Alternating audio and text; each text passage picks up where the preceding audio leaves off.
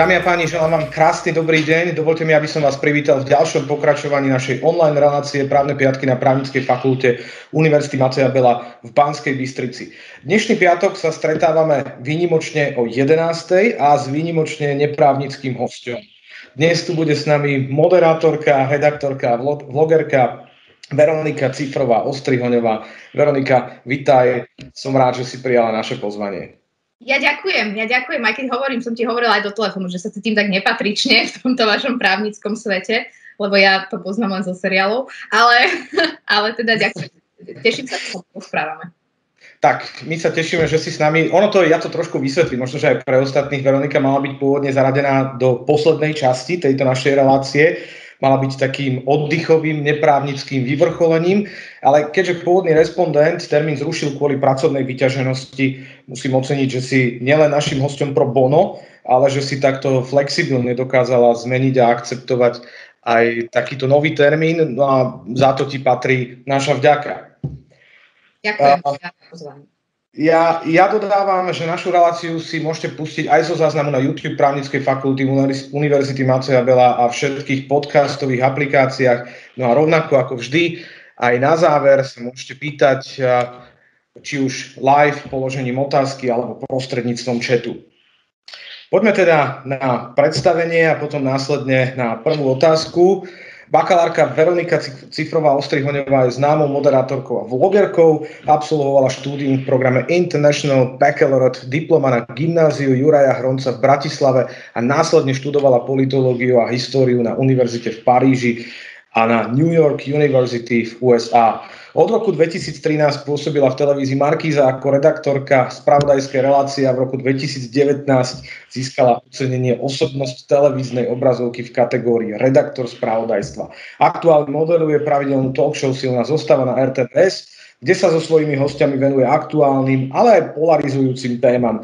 Zároveň má vlastný YouTube kanál s názvom Very Very.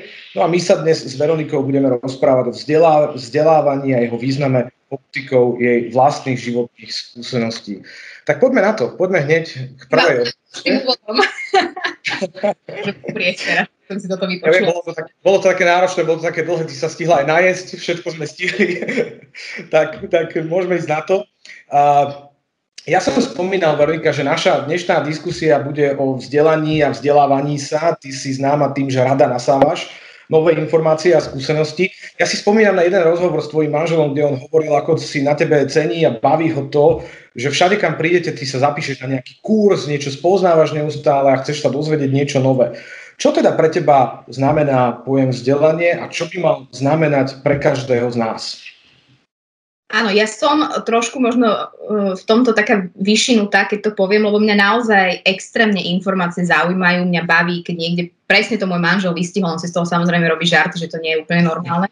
Ale uh, je, to, je to proste tak, uh, samozrejme, keďže mám dceru, už teraz je toho času trošku menej, ale ja, mňa baví svet, ja to neviem inak povedať, mňa baví, čo sa ľuďom deje, mňa moje snahy naplňať sa vzdelávaním alebo informáciami je, že ja mám stále pocit, že ja viem strašne málo a že stále každý deň spoznávam fenomény a veci, kde by som chcela sa do toho ponoriť viac.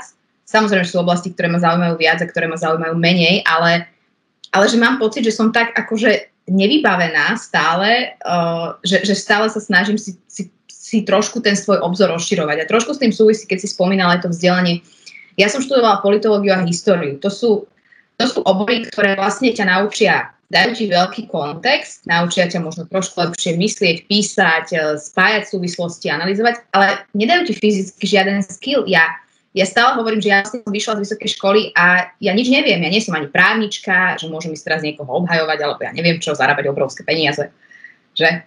Alebo pre štát robiť. Alebo že nie som ani lekárka, niekoho liečiť. Proste nie som ekonómka, že môžem niekomu robiť daňové priznania alebo nejakú stratégiu. Čiže ja, ja vlastne mám stále taký pocit, že ja, ja mám, ja staviam na tom, že, že, že sa snažím veľa vecí zisťovať, riešiť si ich hlave a možno potom si hovorím, že niekde mi prídu vhod a nejakým spôsobom ma postúvajú ako človeka. Ale naozaj u mňa je to, že obyčajná zvedavosť. Ja som bola zvedavé dieťa, moja mama by vám povedala, ja som v kúse sa na niečo pýtala, keď moja dcera bude taká, tak si pôjdem asi dať nejaký acilpirín vždy, lebo že vraj ja som bola, že non-stop ma niečo zaujímalo, také, že som mala rokov, išli sme v električke, či v autobuse, či v trolejbuse, proste v nejakom prostriedku verejnej hromadnej dopravy.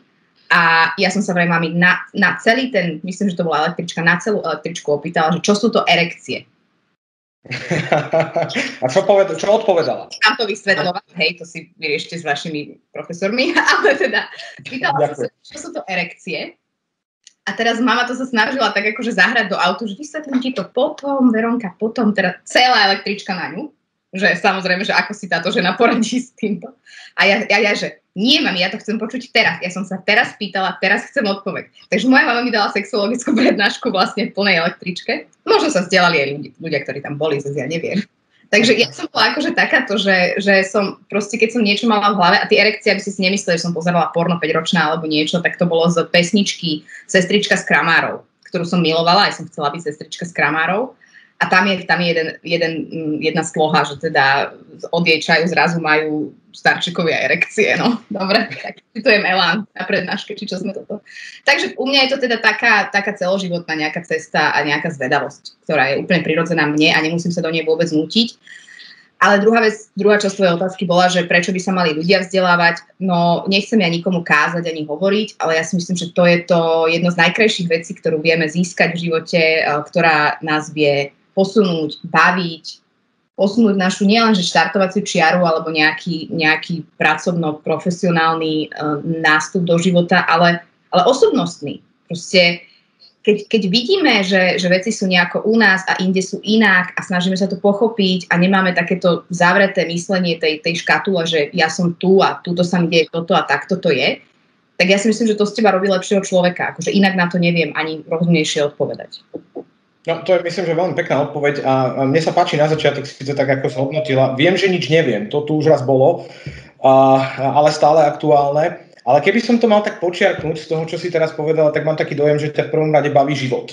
A život je aj o tom posúvaní sa vpred, o vzdelávaní sa. A to ťa možno, že priviedlo aj na tie univerzity do Paríža, v New Yorku. E, prečo si sa vlastne rozhodla ísť do zahraničia? Nezvažovala si aj štúdium na Slovensku?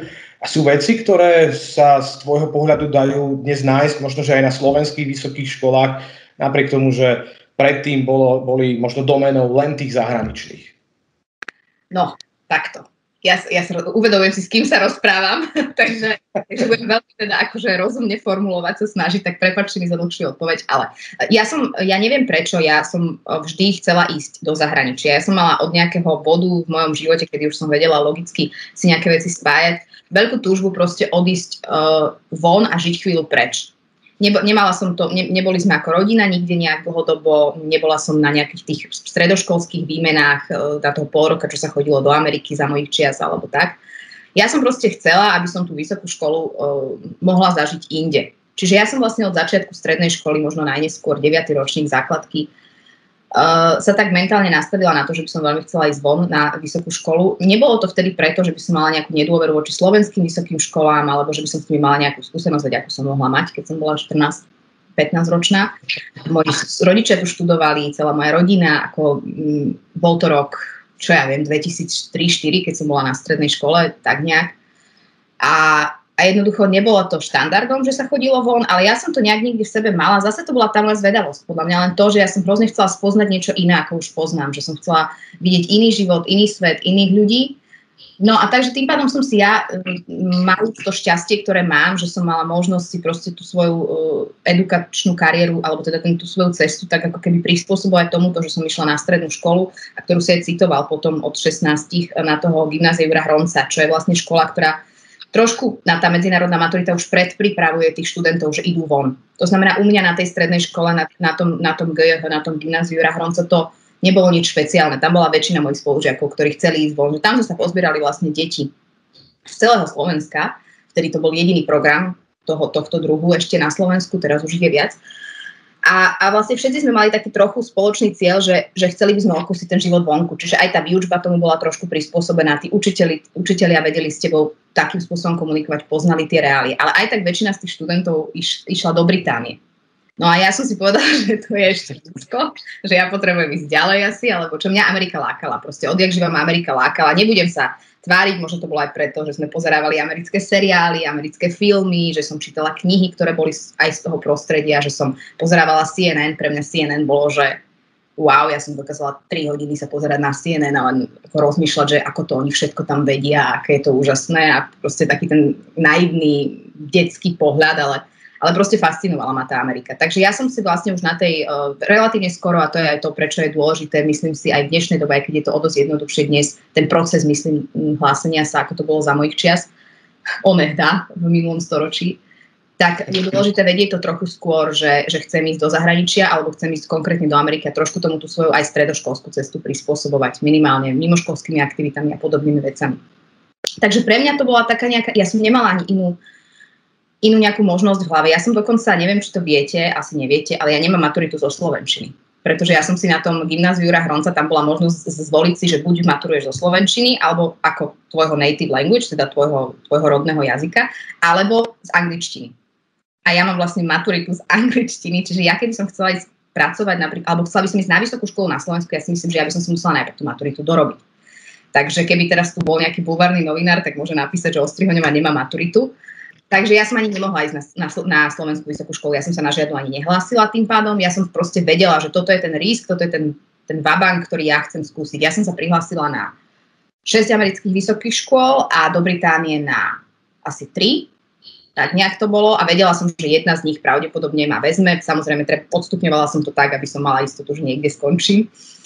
A, a tým pádom pre mňa to Slovensko ne, nebolo nejaká, nebola vôbec alternatíva. Hovorím aj tým, že som už mala tú, tú moju stredoškolskú cestu nastavenú tak, že som vlastne tú maturitu do Slovenčiny ani nemala. A napriek tomu mám oveľa, oveľa, oveľa lepšiu gramatiku ako môj manžel, ktorý je vysokoškolský vyštudovaný pedagóg Slovenčina Takže toto je zase moje, že na niečo proste musíte mať bunky zjavne a škola vám nepomôže. Teraz by sa mi poďakovala Univerzita Komenského, kde študoval. Um, takže uh, ja som vlastne chcela ísť do Ameriky. Našťastie sa to podarilo, našťastie uh, ma zobrali z tých šiestich škôl tri školy, eh, kde som sa hlásila v Británii, myslím, že dve z tých troch. Ale pre ja som si vybrala to, čo mi nebolo najbližšie. Mala som tie možnosti, že uh, samozrejme, že som mohla ísť, že mi mohli moji rodičia pomôcť, lebo je to veľmi, veľmi náročné finančne. Dostala som aj štipendium, takže sa to tak vyskladalo, odišla som a už som bola preč. Uh, a čo sa týka tých slovenských vysokých škôl, ja, to, ja som ti to hovorila aj do telefónu, ja to nechcem hodnotiť. Ja som na Slovenskú vysokú školu nechodila. Ja mám len anekdotálne dôkazy od mojich kamarátov, známych, ktorí mi hovoria, ako to bolo, ako to robili. Mm, o Univerzite Mateja Bela viem veľmi málo, pretože tam som bola len na tej, raz na tom stretnutí alebo na tej diskusii o možno bratislavských vysokých školách viem trošku viac, ale ale netrúfam si ja hodnotiť, kto a ako to má a kde to ako je, lebo by to nebolo košer. Ja som to nezažila na vlastnú kožu. A môžem hodnotiť trošku z toho, a tu ja musím byť trošku kritická, a, a teraz som sa o tom s niekým znova rozprávala, neviem, či poznáš Renatu Hall z, z Toda Rozum, to je také, áno. A, a my sme sa stretli v roku 2018 eh, na jednej konferencii, ktorú som ja moderovala, kde boli aj dekani slovenských vysokých škôl, a prípadne aj neviem, ako to tam, no proste taký vysoko postavený rektori a tátovacia proste hierarchia, hej, že krem de la krem. Uh, boli to technicky zamerané vysoké školy a ona tam prezentovala takú, takú prezentáciu o tom, ako sú na tom slovenské vysoké školy, prečo toľko ľudí odchádza do zahraničia, do Česka um, a proste tomu sa venovala. A ja musím povedať, že ja si z tej, ja, to bolo rok 2018, ja si z tej diskusie stále nesiem veľmi, veľmi negatívny náboj, pretože ja som ja som tam u tých, a nechcem to paušalizovať, ale možno sa tam nazbierala proste taká, hm, taký výber, výber tých zástupcov tých našich vysokých škôl, ktorí nie sú úplne otvorení nejakej zmene. Ale tým, že ja som tú diskusiu moderovala, tak uh, to bola diskusia, kde sa nie, nie, že tie svety nestretli, to ani nešli vedľa seba. Proste to bolo, že Renata Hol povedala, že toto sú výsledky, preto to odchádzajú uh, naši slovenskí študenti do, do Česka, lebo v Česku majú toto, lebo ja neviem, nečítajú tam profesori z monografií na, na vymýšľam si, hej, alebo do Británii. A tam sa postavil jeden z tých zástupcov a hovorí, takto, tak ale lebo majú lepšie podmienky, tak ale lebo, no také tí študenti nič nevedia, tak my musíme najprv dať fakty, my musíme niečo prečítať. A jednoducho ja som tam videla, že tam nie je žiaden záujem sa približovať. Proste, takže pre mňa toto je, toto je jediný moment, kde ja som mala takú ako keby trošku z prvej ruky skúsenosť so zástupcami niektorých vysokých škôl a z, nejakých, z nejakou ich konfrontáciou s možno s trochu inou realitou z iného súdka, a ten si v sebe nesiem. Takže verím, že ma niekto pozve na nejakú konferenciu, kde to bude inak a kde, kde sa zase načerpám novými, lebo si uvedomujem, že to bolo dávno a že to bol jeden unikátny event alebo udalosť, ale poviem ti, že ja som odchádzala domov, bolo to v jasnej a ja išiel som vo vlaku a hovorím si, že fúha, že tak, že tak toto bolo, že masaker. Toto nebolo, že silná zostava Cibulková versus Simona, toto bolo ešte úplne proste No bolo to, nemala som pocit, že úplne je tam záujem, ale nechcem to paušalizovať. Vidím, ako funguješ ty, ako fungujú iní, že, že je to asi veľmi individuálne na slovenských vysokých školách. Tak, to. Ja to, ja, to, ja, to, ja to na druhej strane zase chápem. Ak e, toto bola v podstate taká, taký, taký jediný tvoj kontakt so slovenským vysokým školstvom, ten prvý dojem veľa urobí. Na druhej strane ja som presvedčený o tom, že aj v našom vysokom školstve ako keby nastala taká tá generačná, tým pádom aj obsahová výmena, budem sa aj na to možno že pýtať, alebo aj o tom sa rozprávať, ale Uh, celkovo, keď si hovorila o tej Amerike, je tam možno, že taký trošku iný prístup, uh, ako nielen na Slovensku, ale ako v Európe. Ty si bola aj vo Francúzsku, dobre, na Slovensku sa nejdem pýtať, ale keď porovnávaš to európske, lomeno francúzske vzdelávanie a americký prístup, je tam nejaký taký rozdiel? Takže tvoja otázka bola francúzske vysoké školstvo versus americké vysoké školstvo. Súhlasím že, možno, že taký ten prístup, taký ten môžeme porovnať európsky konzervatívny a taký ten iný trošku pokrokový alebo uh, uh, americký, aký si zažila, aj vzhľadom na to, čo si hovorila. Ja som, uh, zaž- ja som bola vo Francúzsku rok, prvý rok. Bola som síce na, americkej, na pobočke americkej, tej mojej vysokej americkej školy v Paríži, ale mala som um, kurzy alebo teda prednášky aj na uh, francúzských vysokých školách, teda konkrétne ja som mala jednu na Sciences Po, teda na politických vedách. A ale veľa mojich spolužiakov chodilo aj na Sorbonu a podobne. A myslím si, že tento, ten uh, systém je veľmi podobný ako na Slovensku. Vo Francúzsku je to tiež väčšia prednáška, uh, skôr sa to týka naozaj nejak, keď, keď sú, že sú skúšky. Ten americký vysoký škol, vysokoškolský systém, ja to hovorím, je vo veľkej miere podobný nášmu stredoškolskému, ako keby, pretože viac sa tam dbá na, na prácu počas celého semestra, Um, ne, nedá sa, nie je to tam tak, že máš, ako ja som od mojich kamarátov vždy počula, že mám skúškové, mám skúškové, teraz dva týždne nežijem, učím sa, učím sa, urobím a potom zase nemusím ísť na prednášku, alebo nechodím, neviem, nemusím, alebo možno nechodím úplne pravidelne, tuto nie. U nás v Amerike sa známkovalo, účasť na prednáškach bola súčasťou známky, mal si participation, čiže v rámci celého toho roz, rozvrstvenia známky tam bolo nejakých 10%, či chodíš na tie prednášky alebo na tie hodiny, ale aj či sa zapájaš to bolo pre mňa niečo, čo, čo podľa mňa je veľmi, veľmi dôležité a čo mňa najviac posunulo v rámci celej tej americkej vysokoškolskej kariéry, bolo to, alebo kariéry, to ako cesty, bolo to, že ja som bola nútená, ja nie som prirodzene extrovert, ja nie som, aj keď to možno niekto môže myslieť tým, čo robím, ale ja nie som, ja sa hambím, ja sa spochybňujem. A celá vlastne tá moja stredoškolská uh, skúsenosť to aj by tak trošku ťa zase núti k tomuto, lebo vedia, že ťa na tom budú nútiť v Amerike, že ťa nútia prezentovať pred triedou a, a argumentovať a hádať sa alebo debatovať. Ale tá Amerika ťa naozaj hodí do toho, že proste je tam 50 študentov, ale oni ťa chcú počuť. Oni proste chcú, aby si niečo povedal. A ja som s tým mala ako príšelec z Európy, ktorý nemá úplne že najvyššie sebavedomie. Americké deti myslím si, že sú všeobecne sebavedomejšie, lebo sú tak vychovávané. Ja som sa hambila ozvať. Ja si hovorím, že takúto blbosť s týmto sa ozvem, že halo. A potom som počúvala mojich spolužiakov a spolužiačky a hovorím si, že no také ty, ty toto môžeš povedať, tak ja určite toto môžem povedať. A bum som sa postavila. Takže toto bol pre mňa uh, vnútorne v rámci môjho nejakého vývinu veľmi dôležitý moment, že ja som sa musela relatívne skoro naučiť, že nestačí tam chodiť, nestačí to počúvať, nestačí dobre napísať písomky alebo eseje, ale že, že naozaj proste musíš do toho byť trošku viac zainvestovaný. A to je zase paralela, ktorá je s celým môjim životom zatiaľ, že keď niečoho naozaj neideš naplno, a nenapl- alebo vnútorne nie si nastavený na to, že to je to, do čoho ideš naplno a že, to, že proste si ochotný prekračovať nejaké komfortné línie, tak v mojom živote sa to ukázalo, že to nebola tá správna cesta. Čiže, čiže pre mňa toto bolo dôležité, toto je naozaj na americkej vysokej škole a na tej mojej bolo veľmi silno prítomné. A ako som spomínala, tam je práca počas celého semestra, nič sa nerobí ústne. Nie sú žiadne ústne skúšky, pokiaľ nie je jazyková. Keď, keď berieš jazyk, tak samozrejme máš oral exam teda počuli, ako rozprávaš, ale okrem toho nič. Všetko je písomné, uh, všetko je na papieroch, všetko sa dokumentuje, opravuje to nie ani tvoj profesor, ale tí teaching assistants, teda takí jeho pomocníci, čiže aj keby si sa tam tomu profesorovi veľmi navtieral, tak je ti to na dve veci, lebo on to nevidí, tie tvoje, on vidí len tvoje výsledky. Takže uh, je tam, ja som zažila a mala som obrovské šťastie, nechcem to paušalizovať, ale s ľuďmi, ktorými som sa rozprávala po amerických vysokých školách, je obrovský dôležité, že tí profesori, a to súhlasím, že to súvisí s tým, že sa im tam lepšie žije, určite, že ja som chodila na NYU v New Yorku, tí naši profesori bývali v okolí našej školy, proste mali byty, ktoré im buď platila alebo doplácala uh, vysoká škola, že naozaj nemuseli riešiť to, čo všetko musia riešiť slovenskí uh, profesori alebo európsky všeobecne. Takže lebo to vysokoškolstvo, vysoké školstvo tam je také drahé a má o, veľa svojich problémov, aby som teraz nehovorila, že to je tam ideálne všetko. Ja hovorím o tom mojom prežitku. Takže pre mňa uh, s tými profesormi to bolo aj ďalší jeden veľmi silný moment, lebo tí profesori boli tam, boli, boli ja stále hovorím príklad, už mám, mám pocit, že obohratý, ale vždy, keď sa takto so študentmi rozprávam, že ja nie som vôbec technicky nadaná, vôbec, hej, že nič, proste poleno. A nie som matematicky nadaná. A ani som nikdy nebola, ja som mala samé jednotky a stolovú trojku z matiky. Proste, že dovidenia, ja a čísla, to sú takto to ide. A ja som musela kvôli môjmu, eh, kvôli tomu, že čo som študovala, tak oni ti v Amerike máš taký plán predmetov, ktoré si musíš prejsť, aby si mohol dostať diplom. Bez ohľadu na to, či budeš herec divadelný, či študuješ divadelné herectvo alebo študuješ fyziku.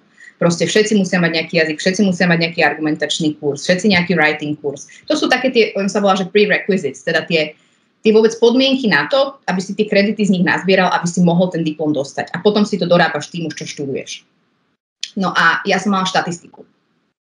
A to akože, to je, že štatistika, ja som prišla na tú hodinu a to bolo vždy rozdelené, že boli tie väčšie klasy, kde bolo okolo 50 ľudí a potom boli také tie krúžky, kde sme boli, že 8, 9, 10, už, už s tými väčšinou tými teaching assistants, s tými asistentmi. Ale mali sme perfektnú profesorku.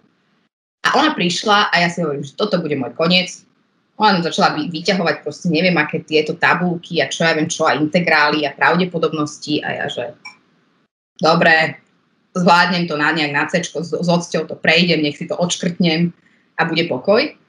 A ona bola veľmi mladá, profesorka, jedna z najmladších, ktoré sme mali na NYU vtedy.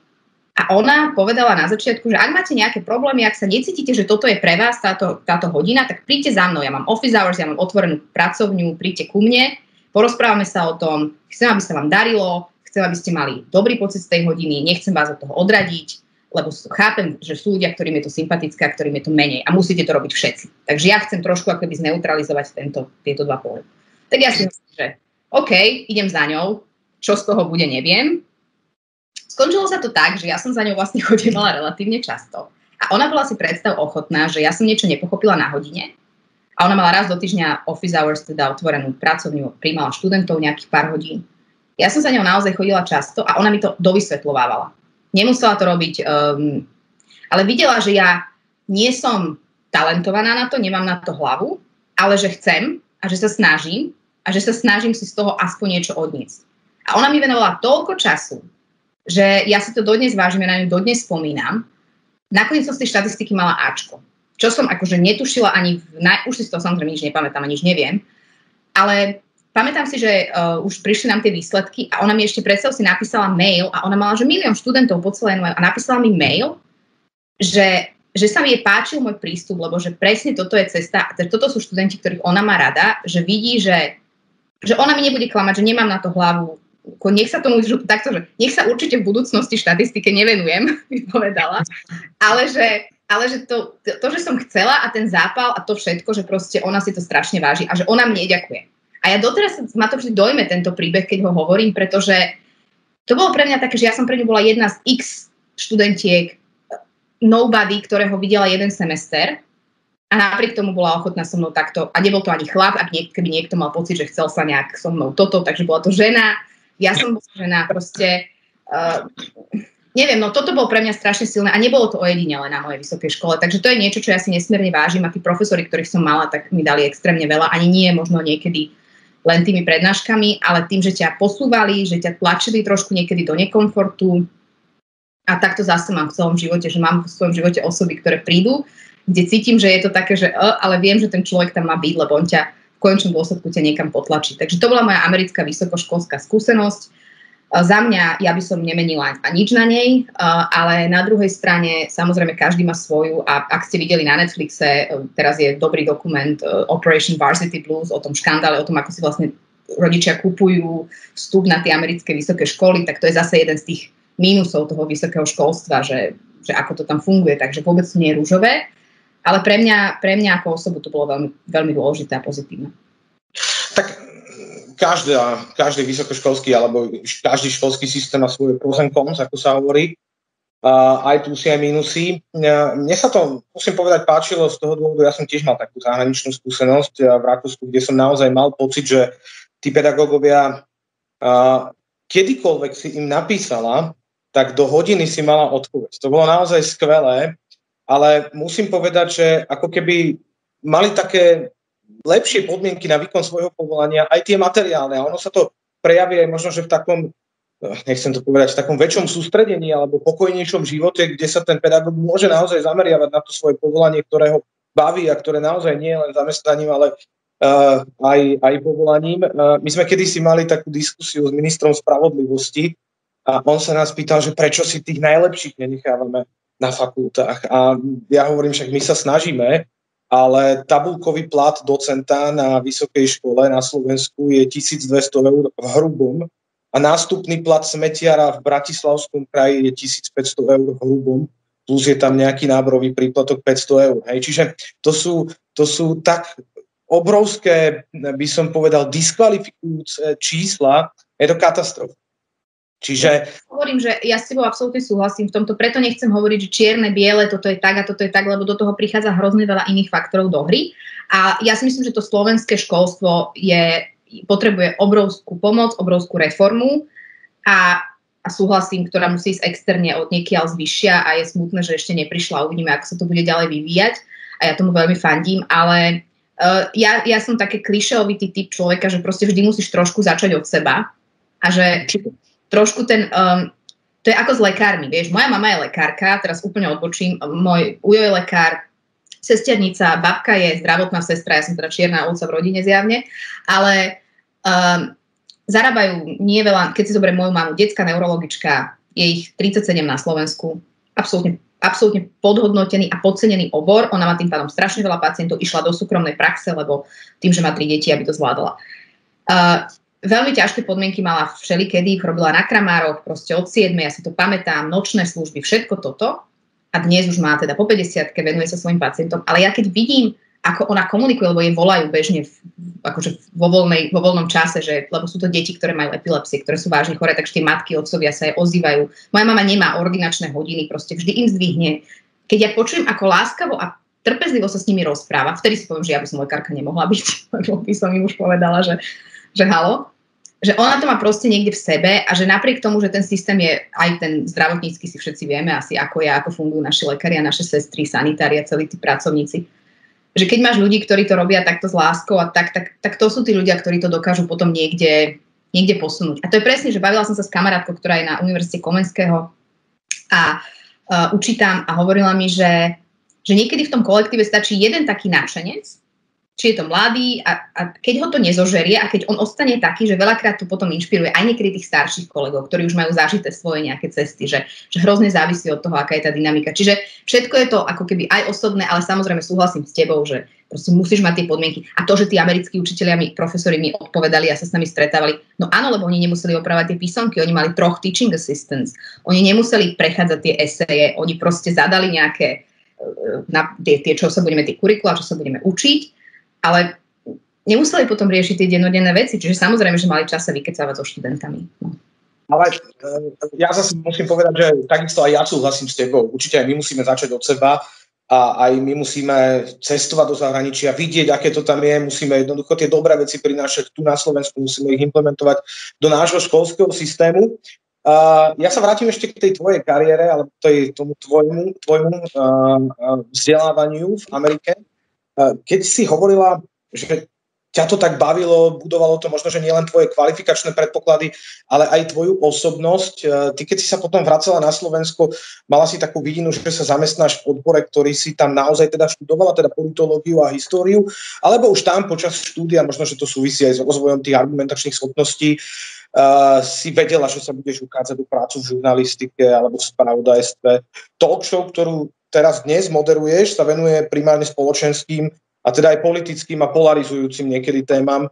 Uh, myslíš, že práve pri tomto, alebo teda pociťuješ pri tomto ako svoje plus to, že si študovala politológiu, mne možno, že ide tak o to, či aj to spoločensko-vedné alebo humanitné vzdelanie, ktoré si aj ty nadobudla, sa dá považovať za taký akýsi všeobecný odrazový vzdelanostný mostík aj k povolaniam, kde by sme to primárne nehľadali. Ja si myslím, že áno. E, ja som vždy, keď sa rozprávam s ľuďmi, ktorí rozmýšľajú nad vysokou školou, tak jedna z tých ich prvých otázok je, že a ty si vedela, čo s tým chceš robiť, keď si išla študovať politológiu, že ty si vedela, že, ako, čo, že to, ty si to brala ako vehikel k tvojmu nejakému povolaniu?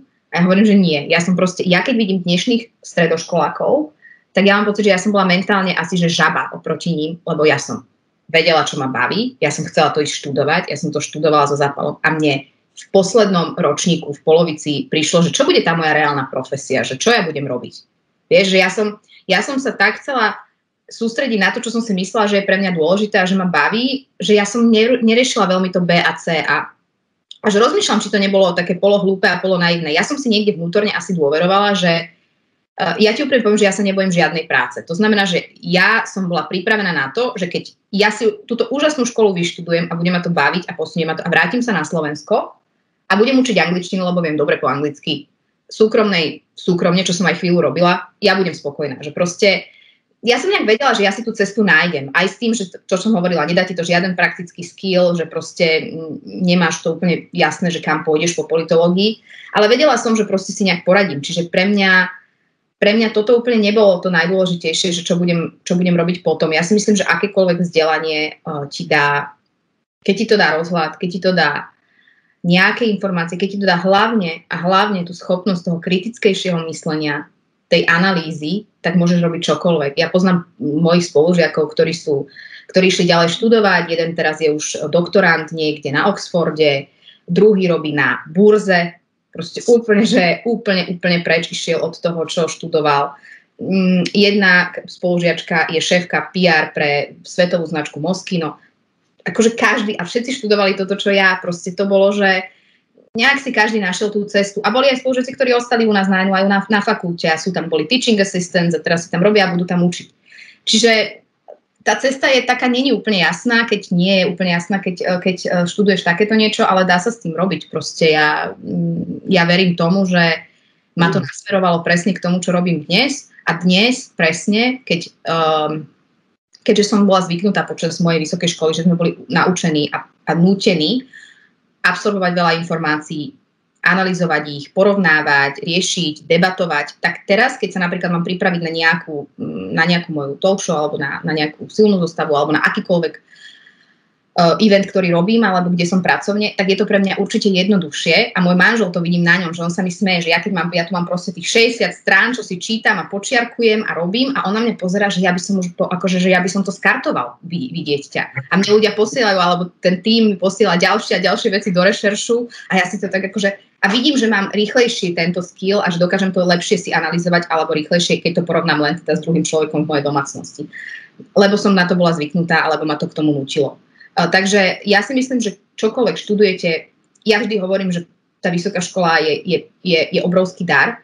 Nemali by sme to brať ako samozrejmosť a to je, to je to, čo v Amerike aj tým, že je taká drahá, tým, že to je také komplikované tam, tak uh, si to ľudia naozaj veľmi vážia, že, že ja mám pocit, že u nás trošku to sklzáva do nejakej povinnosti, nejakého papiera, nejakého, akože musím si to odbiť, pre mňa je to hrozná škoda, lebo to je, to je obrovský dar a obrovská podsta môcť chodiť na vysokú školu, lebo nemajú všetci tento dar, nemajú všetci túto poctu.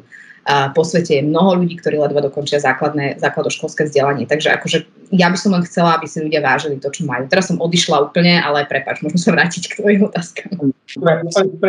Ja na to tak trošku nadviažem, mám tu takú jednu otázku, lebo nás počúvajú nielen vysokoškoláci, ale aj stredoškoláci, ktorí sa v týchto dňoch rozhodujú práve o výbere vysokej školy a nie každý má úplne taký ten svoj vysnený odbor. Čo by si poradila tým, ktorí sa nevedia rozhodnúť a zatiaľ ešte ani nezistili, čomu by sa chceli v živote venovať, ale možno vedia, že určite chcú vôbec niečo študovať. A, a čo napríklad vysokoškoláci, ktorí študujú odbor, ktorý ich síce baví, ale už dnes počas štúdia vedia, že bude veľmi náročné zamestnance. Treba byť podľa teba v tomto pragmatik aj na základe toho, čo si hovorila, alebo si skrátka ísť za svojím snom a proste vždy robiť človeka najmä, čo ho baví ak by si bola dnes napríklad maturantkou, prípadne študentkou vysokej školy, a myslíš, že by sa rozhodovala podľa nejakých iných aspektov ako vtedy? Vieš čo, dobrá otázka. Minula som na tým rozmýšľala, lebo som mala podobnú di- diskusiu so študentmi strednej školy. A ja si myslím, že ja by som sa rozhodla úplne rovnako. Napriek tomu všetkému, čo bolo. Ja ti poviem svoj, svoju skúsenosť, že ja som vyštudovala americkú vysokú školu, nechcem sa teraz nejako chváliť ani nič, ale ja som sa umiestnila akože veľmi vysoko v rámci toho, keď som ju skončila. Tomu sa volá, že summa cum laude, to je že top 5% ročníka s mojimi známkami. Čiže za mnou prišla jedna z mojich ďalších obľúbených profesoriek počas 4. ročníka a hovorí mi, že ty sa neopováš vrácať na Slovensku, že nechoď domov, choď tu a choď študovať právo. Lebo v Amerike sa študuje právo inak, tam sa študuje najprv tie 4 roky a potom si urobíš law school, hej? Jasne. A americká law school v Amerike je akože najcenejšia, alebo proste dá ti to nejaký level zárobku, status, keď vyštuduješ právo a medicínu. Hej, akože to sú dve tie veci, aj tým, že sa študujú tak extra oproti všetkým, tým, že sú to naozaj musíš na med school alebo na law school, tak ona mi hovorí, že Veronika, ty si študovala politológiu, históriu, si suma cum laude, to 5% ročníka, ostaň tu, choď, vyštuduj to právo a, osta- a, a minimálne to tu vyštuduj. A ja hovorím, a na čo to tu vyštudujem? Že ja nechcem robiť právničku a ja nechcem ísť a domov s tým, s tým bol problém, lebo to je iné právo, že že na čo? Ona, že ale lebo to je proste, ty si na to úplne fit, že prosím ťa, že, že skús to, veď odídeš, keď ťa to nebude baviť. A ja hovorím, jak odídem, keď ma to nebude baviť po roku, ktorý veľa stojí, ktorý ma stojí veľa finančne, aj fyzicky, aj psychicky, aj všelijako poviem, že nie, že, že nie. Čiže ja som povedala, že nie, sa chcem vrátiť na Slovensko a uvidím. A ona mi hovorí, že dobre, ale že teda ako ona ako starší, rozumný človek mi musí povedať, že si myslí, že akože nemala by som to robiť, že ona mi napíše odporúčanie, že dala mi dokonca taký pamflet tých law schools, vieš, do ruky, že len si to pozri, máš čas, je začiatok 4. ročníka, zoberieš si tie LSETs, teda urobíš tie skúšky, tie testy, ktoré musíš urobiť, aby ťa zobrali a že choď na to lebo že si na to dobrý kandidát. A ja si hovorím, že ďakujem veľmi pekne za váš čas. Zase vie, že sa ich chcelo proste toto riešiť s nejakou proste Slovenkou, ktorá je tam na chvíľu a takýchto ešte bude a bolo. Ale som si povedala, že nie, že ja chcem ísť domov. A prišla som domov a bola som na pohovore do Markízy a môj vysokoškolský diplom zatiaľ v mojej pracovnej kariére bol na dve veci, teda na to, že ho mám odložený doma, ani nezavesený a že ho teda mám. Takže môj uh, vtedy príjmajúci a potom aj dlho šéf Heňo Krejča, šéf spravodajstva a publicistiky v Markíze na castingu sa ma pýta, že teda mám vysokú školu, ja že mám. A on, že OK, a vieš po anglicky? A ja, že no viem, lebo však som, sme si vykali, že viete po anglicky? No tak áno, lebo však som študovala v Amerike. Takže ako prišlo mi to také, že jasné, že hej, že musím vedieť. A on že, no, tak ja si to radšej otestujem, viete, lebo veľa ľudí hovorí, že vie. A začal na mňa hovoriť po anglicky na tom castingu. No a ja som mu začala odpovedať a asi po neviem, 60 sekundách teda pochopil, že, že viem po anglicky. A to bolo celé. Ja som nikomu tu na Slovensku pri žiadnej mojej práci neukazovala môj vysokoškolský diplom. Keď som išla na interný úvezok, tak som musela tam niečo doniesť. Do Markizy si pamätám na HR, ale inak nič. Uh, nikoho to nezaujímalo, nejako mi to nepomohlo v rámci nejakého lepšieho platového hodnotenia, lepších podmienok. Tá moja práca je úplne iná s, s, s tým, že som študovala, nemá nič. Uh, v rámci toho, že by mi to mohlo niekde otvárať dvere teraz, že mám dobrý, dobrú školu a mám dobre som ju skončila. Aj tým, že tu na Slovensku je ten systém trochu iný, že ja som podľa tých amerických regulí len bakalár, tu na Slovensku je to málo, nie sú to porovnateľné veci, proste akože je to celé komplikované.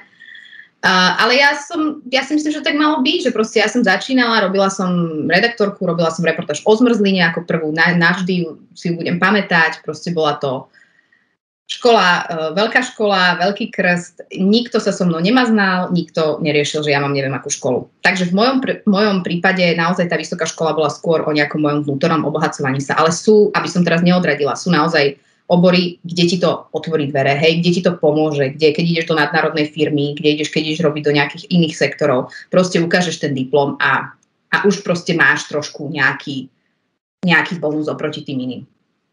No dobré, ale uh, uh, ono tak aj z tých tvojich skúseností aj, aj, aj my cítime, že to vysokoškolské vzdelávanie je teda nielen o nadobúdaní vedomosti, nejaké kvalifikácie, ale aj práve o tej schopnosti kriticky myslieť, ktorú si už tu spomínala aj o možno, že získavaní nejakého nadhľadu, skúsenosti a určite v neposlednom rade aj zážitkov.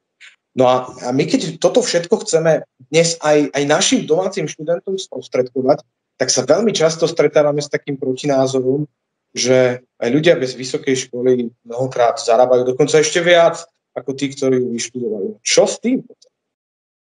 No čo s tým? No ako si nastavíš ten, ten hodnotový rebríček? Proste čo s tým? Áno, ja absolútne súhlasím. Sú ľudia, ktorí nemajú vysokú školu a sú úspešní, bohatí, uh, darí sa im, sú naplnení v živote. Pre mňa uh, je, je základ toho, ako chcem fungovať, je to, aby som bola nejakým spôsobom naplnená a m, samozrejme nebudem teraz sa tváriť, je dôležité mať komfortný život, aby si mal, zarobil si na seba to všetko.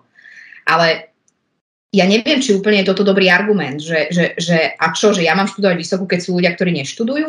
No tak to skús. Ja si myslím, že keď chce ísť niekto podnikať, dobre, veď nech začne, nech začne na strednej škole a bude z neho aj, alebo z nej, budem im prvá fandiť. E, vysokoškolské vzdelanie je opäť niečo, čo je proste, čo by mal byť bonus, čo by mal byť to, čo ja chcem pre seba a nie, nie nutne preto, aby som mala takú a takú výplatnú pásku, lebo na to sa nedá spolahnuť. Ja si pamätám, že keď som ja išla na vysokú školu, to bolo 2008, tak všetci moji kamaráti v Bratislave išli na právo. Na Bratislavskú vysokú školu práva a išli študovať právo. A ja som si tak v hlave hovorila, že presne preto to veľa z nich, lebo si hovoria, že a právnikom je dobré a veď e, akože zarobím si a všetko bude fajn, aj ma to baví, aj mám rád históriu, aj mám rád toto, ako určite tam boli rôzne dôvody. A naozaj v mojom okolí boli všetci, všetci študovali právo. Dnes tých ľudí e, robí právo, neviem, možno 10%, nechcem hovoriť, nie, nie, nie som so všetkými už až tak v kontakte. A a potom sa to zase zmení, potom zase všetci budú chcieť byť ITčkári a potom bude veľa ITčkárov. Vieš, že keď sa budeme tak hrozne riadiť tým, že tým pragmatizmom, že čo študovať, neviem, či to je úplne dlhodobo udržateľné. To, to, to ani nie. Ja som skôr myslel to, že eh, keď ty si hovorila aj tie svoje zážitky z USA, že vysoká škola ako taká nie je len práve o, o, o tých peniazoch, o titule, o, tej, o tom, že problém... No. by mala byť jednoducho túžba po budovaní nejakej takej osobnosti, že vytvoria nejaké také hodnoty, hej, získaš uh, taký nejaký možno, že nadhľad, aj odstup tým uh, k nejakým veciam, proste jednoducho aj tým, uh, že študuješ na vysokej škole, si vytvoríš možno, že psychicky komfortnejší život bez ohľadu na peniaze. Tak, tak, pekne si to zhrnul. Vidno, prečo si dekam. Áno, že, že proste, uh, hej, súhlasím, že netreba sa na tú vysokú školu, veď ja som to už povedala niekoľkokrát, pozerať ako na nejaký len prostriedok niečomu. Je to prostriedok aj k zdokonalovaniu samého seba a samej seba.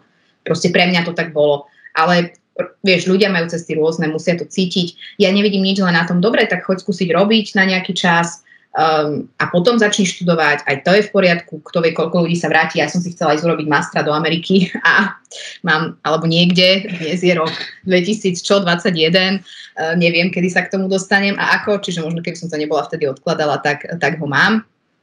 Ale ja som zase cítila, že chcem proste ísť robiť a chcem ísť robiť niečo iné. Takže uh, ako ja naozaj som veľkou proponentkou vzdelania vysokoškolského vzdelania a každý, kto ma pozná, to on nevie. A ak je tu akýkoľvek študent, študentka, ktorý to zvažuje a má tu možnosť ísť na vysokú školu a len zvažuje, že či sa mi chce alebo nechce, ja som rozhodne za to, že choď. Lebo nie je to o tom len, že ti to zabezpečí niečo, ale zabezpečí ti to možno vnútorné nejaké naplnenie sa. A možno nie, ale skúsiš to, niečo sa naučíš, spoznáš ľudí. To sú, to sú obrovské devízy do života. Samo sebe stojí za to. A poďme ešte na takú možno, že trošku úplne inú, ťažšiu tému. Ja si neodpustím aj takú jednu otázku, uh, ktorá sa vzťahuje k tvojej profesii, nielen moderátorky, ale aj redaktorky a možno, tak súhrne novinárky. A my žijeme teraz v takej mediálnej dobe, kedy to kritické myslenie, o ktorom sme my tu aj rozprávali, býva často nahradené takým prebytkom informácií zo strany médií, ktoré nezanedbateľnej časti populácie dokážu vytvoriť, alebo možno, že aj tak preddefinovať určitý názor na politiku, právo, kultúru, či možno, že spoločnosť ako tak. Nie je to podľa teba problém? Ako odlíšiť eh, aj v tvojej práci poctivého redaktora či redakciu od média, ktoré chce v prvom rade zaujať či ovplyvňovať verejnú mienku? Minule, eh, keď sme mali diskusiu, tak tu zaznela taká zaujímavá myšlienka že ak sú médiá strážcom demokracie, tak kto potom stráži uh, toho strážcu, kto potom stráži toho strážneho psa. Myslíš si, že by aj novinári, alebo možno, že aspoň niektorá skupina novinárov, napríklad tí, ktorí sa venujú politickým témam, podobne ako politici, mali zverejňovať svoje majetkové priznania, prípadne nielen to, čo vlastnia, ale aj to, čo užívajú. Myslíš, že by tým bola vytvorená nejaká taká rovnováha? Medzi tými, ktorí kladú otázky, teda novinári, a tými, ktoré, ktorí na ne musia odpovedať, teda verejne činné osoby? Uh, nemyslím si to. Nemyslím si to, pretože uh, medzi novinárom a verejným činiteľom typu politik je obrovský rozdiel. Obrovský rozdiel v tom, že ten politik robí s našimi peniazmi a za naše peniaze. Novinár to nerobí. To znamená, že ja rozumiem, ak poviem ti hypotetickú situáciu, ak by sa nám tu prichádzalo na, na povrch, že je čoraz viac novinárov platených tým alebo oným a že to nie sú jeden, dvaja, ako to bolo v prípade niektorých novinárov, ktorí spolupracovali s Marianom Kočnerom, ale že ich je naozaj veľa a že sú rozdelení po redakciách a že tu je naozaj nejaký taký až komplot, vtedy poviem áno, dobre, poďme sa o tom rozprávať, poďme riešiť, ako to posuniť. Ale to, toto, že by niekto bol platený niekým alebo tendenčne na niekoho objednávku písal, je u nás na Slovensku, a to vám hovorím všetci študenti, ktorí ste tu, je tak ojedinelá vec, že ja si ne, hovorí sa o nej veľa, ale, ale aj v súvislosti s tým, čo sa dialo a s tým trémom a so všetkým. Ale je to naozaj minimum. Väčšina novinárov žije. A mohli by sa tie sprost... Ja viem, ako tí novinári žijú, ja ich poznám. Ja viem, koľko zarábajú, ja viem, kde bývajú, ja viem, na čom jazdia. Proste, veď najlepším príkladom toho celého je, keď dal Kočner sledovať tých, tých vybraných novinárov, Adama Valčeka, Moniku Todovu, mnohých ďalších, a nič na nich nezistil, lebo žili obyčajné životy, nosili deti do škôlky, do školy, nebývali ani v drahých bytoch, nechodili sa ožierať, nechodili na private jetoch, nechodili k Šorošovi na, na dovolenku, ani k Esetu, ani nikam.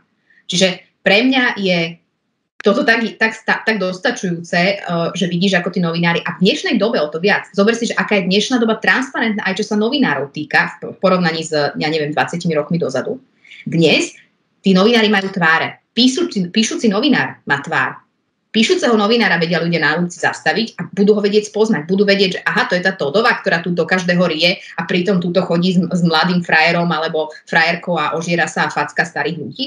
No už si, ne, možno by sa to pred 20 rokmi dalo, lebo poznali meno, ale nevedeli si ho priradiť. Dnes tí, tí novinári, ja si myslím, že veľmi prospieva tomu, že majú aj tie svoje konta na sociálnych sieťach, že proste ukazujú aj oni ten svoj život a to, že ako fungujú a vždy budú nejaké tie zlé jablka pokazané v celej tej úrode, samozrejme, akože to, tomu sa nedá vyhnúť, ale ja si nemyslím, že by sme mali aplikovať podobné pravidlá na, na volených činiteľov alebo na verejných činiteľov a na novinárov. Strážcovia demokracie do istej miery sú a vieš kto, je, vieš, kto je ten, kto kontroluje potom tých novinárov? Ich čitatelia a Slováci a tí, ktorí môžu dozerať na to a tí, ktorí si budú vyberať médiá, ktoré sú, ktoré sú dôveryhodné. Keď nebudú podliehať tomu, že klikám na, na veľké titulky a potom vlastne si neprečítam ten článok, čo je u bežného človeka, človeka uh, na internete úplne bežné. Poznám to z prvej ruky. Robia si ľudia názory na základe toho, že vidia nejaký titulok, ani si neprečítajú, čo v ňom je. Takže uh, ja si myslím, že my máme na Slovensku aj kvalitné médiá, máme novinárov, ktorí robia svoju robotu zapálenie a odhodlanie a nemyslím si, že potrebujú ďalší tlak alebo ďalšiu kontrolu na sebe v podobe toho, že teraz niekto bude im kontrolovať daňové priznania. Nakoniec Marek Kočner sa o to snažil celé, nič nenašiel. A mal na to tým, ktorému platil veľké peniaze. Takže mm, ne, ne, ne, nevidím to takto. A čo sa týka tej sily tých novinárov, ona je veľmi silná a tých médií. Zároveň je extrémne silná uh, aj, aj tá sociálna bublina, sociálna sieť. To znamená, že um, už dnes môže byť novinár každý, Čiže tam je možno by som začala, že by som si pozrela, keď, mi nie, keď vidím nejaký článok, ktorý ma zaujíma a ktorý vyzerá zaujímavo, tak si pozriem, kto ho píše. A keď je to nezávislý bloger, blogerka e, alebo niekto len, akože, kto sa angažuje, tak si položím vnútorne otázku, že zaujímavé. Má takéto zaujímavé informácie, prečo toto nepíše niekde v Enku, aktualitách, pravde, smečku, markíze, e, neviem, akomkoľvek rešpektovanom médiu, lebo ti garantujem, že každé rešpektované médium po kauzách, po, po takých akože odhaleniach baží. A ľudia, ktorí ho dokáže, dokážu priniesť, by sú tam cenení. To znamená, že pre mňa je vždy otázka, že OK, tak prečo to píše nezávislý niekto, ktorý si tu napíše, odkiaľ má tie informácie. Lebo ďalšia vec je, že keď niekto pracuje v zavedenom, rešpektovanom alebo v zavedenom médiu, tak môžeš veriť tomu, že ten proces tej kontroly tam nejaký je. Ja ho poznám z televízie a mm, prísluchovo aj ako je to napríklad v redakciách printových, uh, ty tie svoje informácie máš, ale musíš ich vedieť obhájiť, musíš mať na ne zdroje, keby prišlo na, na lamanie chleba, musíš vedieť prečo, odkiaľ ako. Samozrejme, že by si mal chrániť tých, ktorí ti hovoria. My, keď sme mali akúkoľvek komplikovanejšiu reportáž, tak prvý telefonát, ktorý sme mali, bol správneho a povedali, že prídeme za vami, ukážete mi zmluvy, dokumenty, doklady aby sme videli, že to máte podložené. Aby ste niekomu neublížili, že ten systém kontroly tam je a keď to robí niekto na vlastnú pes na Facebooku alebo niekde, tento systém kontroly tam nie je. Čiže ja rozumiem všetkej skepse, ja rozumiem, všetci robia chyby, novinári robia chyby, ja sama vidím niektoré veci, ktoré by mohli byť lepšie, ale zároveň si myslím, že sú nesmierne potrební a robia nesmierne potrebnú robotu. No dobré, a, a čo ty? Lebo ty si robila v podstate aj, aj takúto tvrdšiu žurnalistiku, venovala si sa zdravotníctvu, bezpečnosti, teroristickým útokom, za to si získala aj OTA a teraz si sa podľa môjho názoru tak trošku aj našla ako moderátorka uh, z tvojich skvelých talk či je to sit down alebo najnovšie silná zostava, ktorá pozícia je aj vzhľadom na to, čo si teraz povedala o píšucich novinárov, novinárov s a, a pre teba taká komfortnejšia. Nechýba ti na druhej strane ten ostrý terén redaktorky, ktorá je tiež známa už dnes, podľa toho, čo si hovorila, alebo máš radšej také predstavovanie zaujímavých osobností v rámci svojich show? ja som to tak nejak prišla do bodu, kedy to, čo robím, je to, čo ma baví najviac. Proste, keď som robila redaktorku, bavilo ma to, lebo som mala pred sebou obrovskú cestu.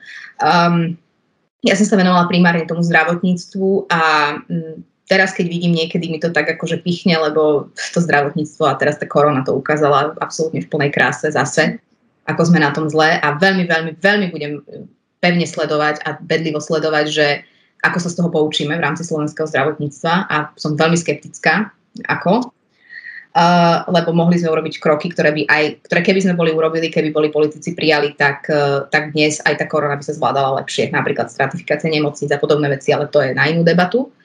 Takže je toto moja srdcová téma, vždy ma to zaujíma, vždy to sledujem o trošku viac ako ostatné. Um, som v kontakte s novinárkami, ktoré sa tomu venujú, väčšinou sú to novinárky, či je to Veronika Folentová venku, či to je Zuzana Javorová v Markize. Proste stále mám trošku taký vhľad do toho, ale už úplne ako laik, pretože ja som v roku 2019 odišla na matersku, bola doma s dieťaťom. A táto moja práca sa vyvinula a, a tak nejak to tak asi malo byť. Cítim, veľmi ma to baví, je to, je to úžasné, je to dobrá príležitosť, či je to pri sit-downe, pri týchto talk alebo pri tejto televíznej silnej zostave. Mm, je to vlastne niečo z toho, čo som robila, ale zase úplne inak zabalené, úplne inak podané úplne inak. A najviac ma na tom baví, že čokoľvek som robila, vždy sa naplňala tá moja, tá moja cesta, alebo ten môj cieľ, že chcem robiť s informáciami, chcem sa rozprávať, chcem zisťovať. A to vlastne robím. Či to robím ako redaktorka, či to robím ako moderátorka.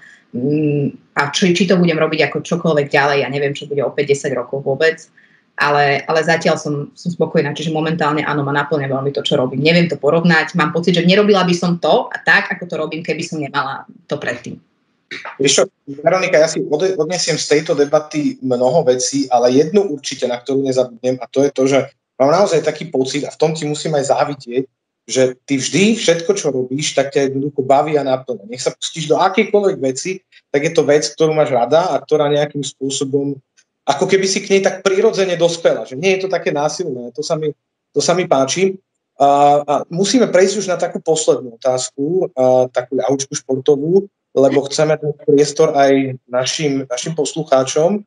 A my sme tu spomínali to kritické myslenie a mne sa teda páči aj to, že na svojom tom YouTube kanáli Very Very tomuto ľudí smeruješ, tým, že im predstavuješ zaujímavé knižné tituly, tak, tak na záver ktoré tri knihy by si ty také zaujímavé odporúčila našim stredoškolským a vysokoškolským poslucháčom? No, uh, ja ich odporúčam už akože všade, ale tak odporúčam ich aj tu, keby som to mala, že tri. To je strašne ťažké, to ako keď máš, ktoré je tvoje najobľúbenejšie dieťa. No tak podľa toho, aký je deň. Ale... To hovorí, že ktorá je tvoja najobľúbenejšia kniha? Vieš, ktorá je najčastejšia odpoveď? Tá posledná, ktorú si čítal. No, takže ja viem, no, je to ťažké. Nie, ja napríklad toto nemám, poslednú, ktorú čítam, je to zaujímavé, lebo ja chcem prvú knihu odporúčiť, ktorá je úplne mimo toho, čo sme sa rozprávali, ale súvisí sa všeobecne so životom. A to je Ivan Štúr a kto chce žiť, nech sa kýve. To je, uh, Ivan Štúr je slovenský psychológ, ktorý uh, už teda zomrel, ale fungoval ako klinický psychológ dlho na detskej nemocnici a píše, to sú také, je to rozhovor, vlastne kto chce žiť, nech sa kýve s novinárkou a rozprávajú sa o živote, o ňom, o tom, ako vnímať rôzne momenty, ako sa s nimi vysporiadať. A on to hovorí s vedomosťou uh, psychológa, ktorý sa tomu venuje roky a ktorý sa rozprával a liečil milión ľudí, ale aj z, z, z pozície človeka, ktorý už má svoj vek, ktorý si niečo prežil a, a vidíš tam ten odstup a ten nadhľad. To je, to, tam sú krásne myšlienky, či sa to týka výchovy detí, či sa to týka výchovy samého seba, proste mňa tá kniha veľmi oslovila a čítala som ju už dvakrát. Každému, komu, koho stretnem, ju podarúvam na nejaké sviatky. Hm, aj teraz ju mám zabalenú pre niekoho túto. Takže to sú, je to veľmi ľahko čítavé, ale je to pekné. Sú tam pekné myšlienky. A naozaj je to, tým, že to je forma rozhovorov, tak je to tak zaujímavo, zaujímavo to na teba vplýva, lebo niekedy súhlasíš s tou otázkou tej novinárky, niekedy si taký, že na čo sa toto pýta, ja by som sa opýtal, že, že ťa angažuje trošku viac tá kniha, ako keby to boli len eseje. Lebo teraz od neho napríklad čítam eseje, a tie sa mi páčia o trochu menej tá kniha. Čiže, čiže všetko sa to vyvažuje. Potom odporúčam druhú knihu a to je uh, Paul Calamity a When Breath Becomes Air, čiže môj posledný výdych. Príbeh uh, lekára, ktorý dostane nevyliečiteľnú chorobu a dokumentuje to. Nebudem viac hovoriť, aby si, aby si to všetci prečítali, lebo tiež sú to tiež sú to pekné myšlienky a tiež ťa to dá trošku do kontextu. Tiež ťa to trošku niekedy, ja hovorím, že to sú veci, ktoré ma nutia prefackať sa pred zrkadlom, keď sa ja stiažujem a, a pištím a som nespokojná s niečím a chcela by som niečo inak. A to sú také, všetci máme také momenty, tak ja si vždy spomeniem na túto knihu, tohto Paula Kalanityho a hovorím si, že keď on zvládol toto, čo zvládol a zvládol to s gráciou, ako zvládol, tak eh, čo sa tu ja stiažujem. Čiže pre mňa je to taký prefackací moment, táto kniha. Veľmi smutná, ale veľmi pekná a veľmi pekne napísaná. Ja ju odporúčam, ak dokážete v angličtine zvládnuť, prečítajte ju v angličtine, lebo okrem toho, že on je lekár, tak on je veľmi, ho baví literatúra vidno, že aj študoval nejaké, alebo na, na, tej, na tej prvej úrovni vysokej školy, na tom bachelor mal uh, koncentráciu literatúru, čiže vie pekne písať writing. Proste je to, je to, je to pekná angličtina, pekný, pekne napísaná, pritom on je lekár, neuro, neurochirurg, myslím bol. A, tam sa dá tiež veľa nájsť. A potom, keď sa, aby sme sa bavili aj o tej téme nás, ktorú sme tu dneska preberali, tak myslím si, že Hans Rosling, Factfulness, neviem, ako sa to prekladá, niekde tú knihu mám. Proste e, Hans Rosling píše o tom, o faktoch v, našom živote, ako niekedy máme pocit, že niečo je nejako a pritom, keď si zoberieš dáta a štatistiky, je to, je to úplne inak. Neviem, či poznáš tú knihu.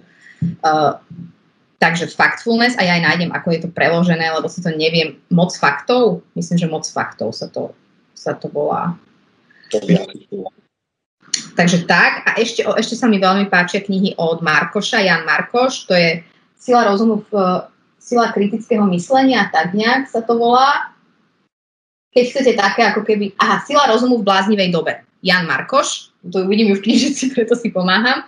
A, a ešte napísal teraz jednu, ktorú si nepamätám, ktorú som ešte nečítala. Takže to sú také, že keď si chcete urobiť nejaký väčší kontext e, proste faktov, kritiky a myslenia. A potom je veľa. No, tak je to taká, taká, taká, by som povedal, tiež taká rozvojová literatúra, takže možno, že tak trošičku dotvára kontext celého tohto nášho dnešného rozhovoru.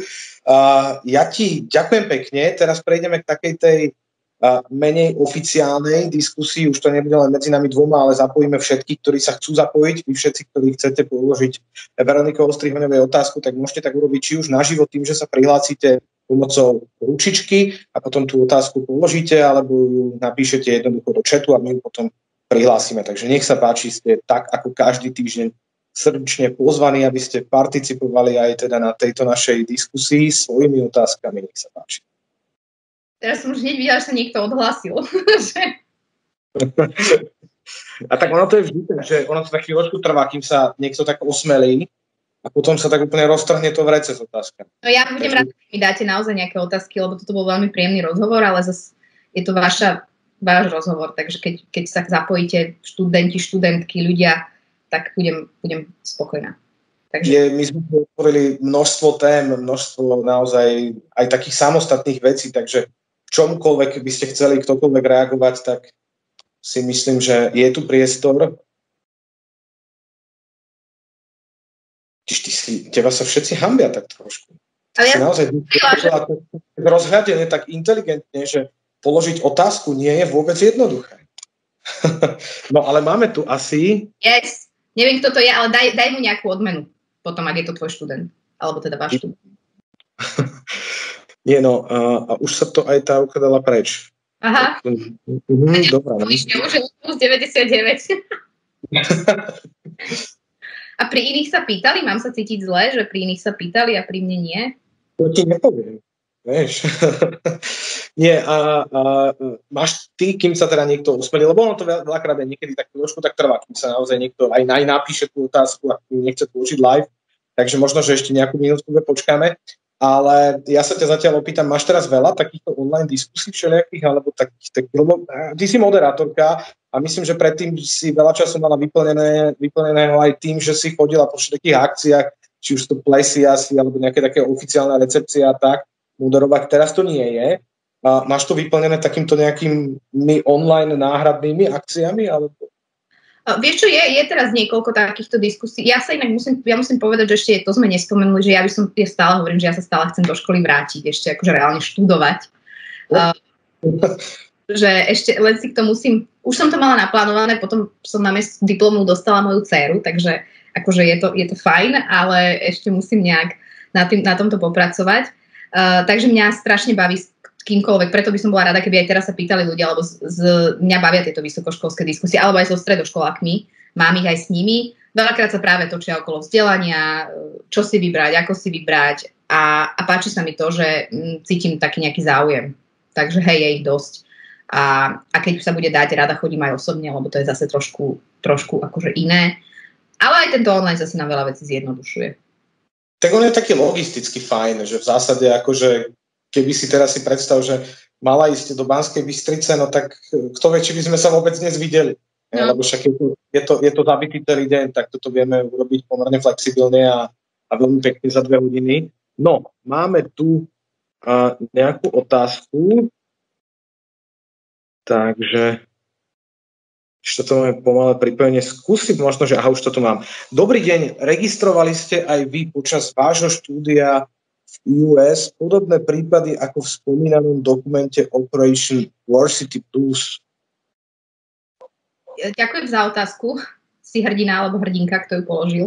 Uh, nie, nie, ja som to neregistrovala, pretože na našej vysokej škole ja som to, neza, možno to je aj u nás na vysokej škole, ne, nespomínala sa tam priamo aj v tom dokumente, ale určite to mohlo byť aj tam, ale vtedy v tom čase nie. Vedela som, že sú ľudia, ktorí ktorí majú, e, ktorí keď majú napríklad, že e, z príbuzných, ktorí študovali na mojej vysokej škole alebo všeobecne na školách v Amerike, že majú niekedy jednoduchšie sa tam dostať, lebo to, to je tá legacy, lebo tie vysoké školy si radi budujú, že aby tam chodili celé rodiny, že to tak akože si vychovávajú tých svojich ďalších študentov.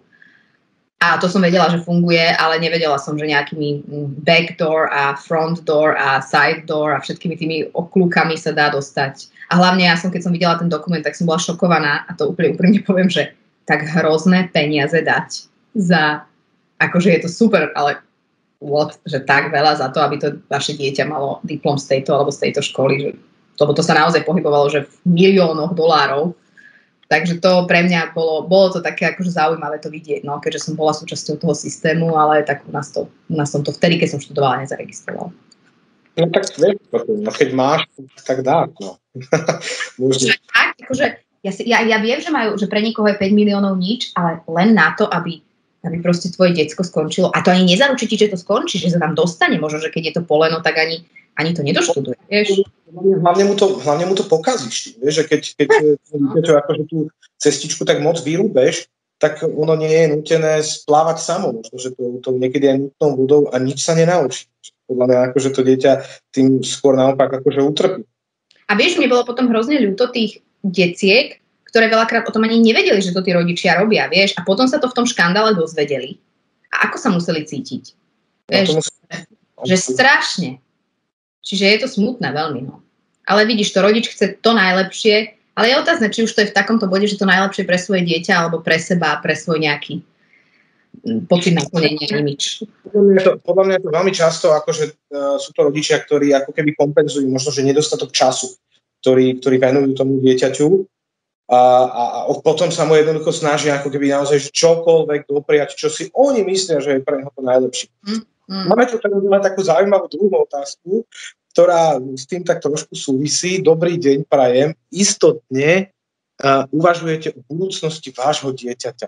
Preferovali by ste pre neho štúdium na zahraničnej európskej škole alebo americkej? Ďakujem. No vidíš, to, je, to práve s týmto súvisí teraz. Ja poviem úplne úprimne, že z mojej skúsenosti, keď som bola malá, tak moji rodičia ma do ničoho netlačili do ničoho neformovali. Moja mama je lekárka, otec je, robí biznis, uh, z tam robil vtedy. A ja som nikdy nebola z nejakej strany nikým z mojej rodiny modelovaná, aby som niečo robila. Príkladom toho je, že keď som sa prihlásila na vysokú školu a už ma aj zobrali, tak už som rok študovala potom na vysokej škole a môj otec stále nevedel vlastne presne, že aká je moja univerzita ani čo tam študujem. To znamená, že podľa mňa, keď sa rozprával so známymi, tak oni si mysleli, že ja možno akože si zarábam telo niekde v Amerike, lebo oni sa opýtali, že a kde to študuje a čo on. A vieš no, ako viem, že sa dlho hlásila, že toho bolo veľa s tým, ale že no je to v New Yorku, ale čo to je za univerzita, čo tam vlastne... Ja to zistím. Takže moji rodičia ma tak nechali byť tým, akým, tým, čím chcem a tým, kým chcem, že až to bolo niekedy, že čudné. Takže ja si myslím, že mám tento model v sebe zažitý a že asi ho budem aplikovať aj na moju dceru. To znamená, keď budem vidieť, že má e, tendencie e, byť možno, že trošku akademicky nadšená po, po, po mne, ale však aj po mojom mužovi, tak, e, tak to budem podporovať.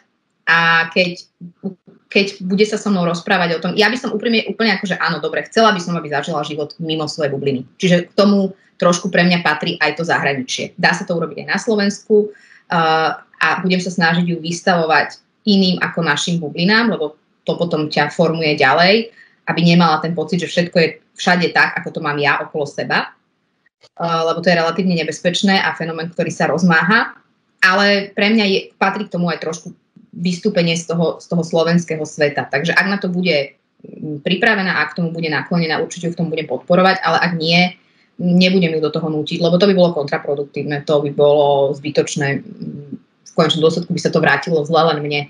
A zase, keď to beriem z takého toho materského pohľadu, tak obdivujem mojich rodičov, veď ja som odišla 18-19 ročná, zase možno boli radi, že mali odo mňa pokoj, mali ďalšie dve deti doma, ale ja si neviem predstaviť, že by mi odišla a že ju budem vidieť len akože dvakrát do roka, ako mňa moji rodičia, to je strašné. Ale zase preto asi je tá puberta a to všetko, aby si si povedal, že a veď nech ide. No uvidíme, no. Ono, ono sa to tak aj mení, možno, že tam, tým trošičku tak vekom. A poďme ďalej, máme tu ešte tri otázky. Dobrý deň, aký je váš názor na poslednú novelu ministerstva školstva, ktorá chcela zasiahnuť do samozprávy vysokých škôl? Ďakujem. Dobrá otázka. Zachytila som ju, musím povedať, že ja sa úplne nevyznám v, v, v týchto novelách a v ich, v ich rôznych um, odtieňoch. Zachytila som, že teda postavili sa proti, proti nej samotné vysoké školy, ak sa nemýlim teda. Takže pre mňa tým pádom sa dosť zdiskreditovala, lebo mám pocit, že a hlavne vieš, čo, sa, vieš, čo sa mi nepáči, vieš, čo som mala dosť čoho zlý pocit, keď som si o tom len čítala ako laička v novinách, že mám pocit, že boli vynechané trošku tie vysoké školy pri, pri tej komunikácii o nej. Že možno, že by sa stretli skôr a možno, že by nebola taká výrazne odbojná reakcia, keď by boli zapájané do tej debaty. Vieš, čo myslím, Michal, že, že ty to asi oveľa lepšie. Mám pocit, že vás trošku vyšachovali a potom vám to ponúkli, alebo teda otvorili to. A to nemám pocit, že je cesta, ako čokoľvek riešiť a čokoľvek reformovať. Že musíš toho hlavného hráča tam prizvať a tvoriť to spolu s ním. No určite nie. Ono to, ono to v zásade bolo tak, že v zásade, vieš, my sme, aj tu sa o tom dnes bavíme, my sme naozaj ochotní rozprávať sa o reformách vo vysokých školách. My to sami cítime, že chceme to posunúť niekam inde, ale, ale naozaj uh, to si vyžaduje poctivú, dobrú diskusiu. Ona nemusí byť dlhá, aj keď naozaj také tie dlhé zákony, teda tie zákony, ktoré sú najlepšie, sa tvorili dlhšie, pretože to má svoj zmysel. Sa vychytajú všetky muchy a keď to robia ľudia, ktorí v tom školstve, ak sa bavíme o školskom zákone, ktorí v tom školstve naozaj žijú, robia tam dlhé roky, prípadne boli v zahraničí, vedia to porovnať, vedia doniesť možno, že mnohé dobré nápady a vedia ich aplikovať aj na to naše prostredie, ktoré je úplne osobitné No a tu sa toto celé opomenulo tak trošku, čiže mne to, máš pravdu, mne toto veľmi tiež chýbalo. No a teraz ono to tak vyzerá, že oni to už napísali do toho plánu obnovy a v podstate ako, ak to nepodporíme, tak ako keby sme nepodporovali celý plán obnovy, tak je to také, no, akože nie úplne ideálne, ale je to taká téma, o ktorej by sme mohli hovoriť veľmi dlho. A, a my tu máme ešte tri otázky. Dobrý... Ruku sa hlásiť a tá slečna sa volá Sára Skubeňová, tak ja neviem, že či, či mám teda do tohto nejak... Je tu určite... Tak poďte, Sára, poďte sa opýtať. Dobrý deň, ja by som sa chcela opýtať, že vy ste hovorili, že ste boli na vysokej škole v zahraničí a mňa by zaujímalo, že keď ste sa potom vrátili naspäť na Slovensko, ako ste sa dostali k moderovaniu? Že či ste už od malička tak premyšľali nad tým, že by ste chceli robiť moderátorku, alebo či ste sa k tomu dostali až potom tak postupom času, alebo že ako to bolo? Ďakujem, Sara, za otázku, pekné meno. Uh, ja, som sa, ja som chcela byť redaktorka, odkedy som mala asi 6 rokov, pretože u nás bola veľmi silne zakorenená tradícia, že sa pozerávali správy, televízne noviny. Markize.